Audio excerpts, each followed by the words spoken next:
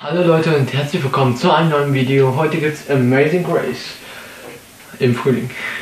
Ja, ähm, dieses Lied ist eher ein spirituelles Lied und ich hoffe es wird euch gefallen. Viel Spaß mit.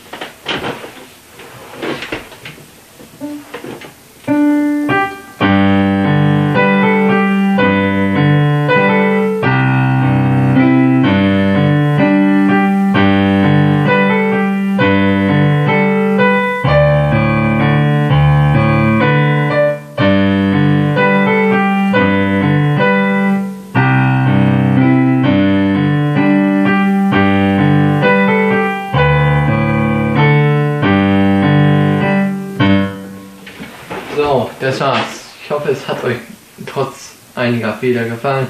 Wir sehen uns dann am nächsten Wochenende mit einem neuen Video. Bis zum nächsten Mal.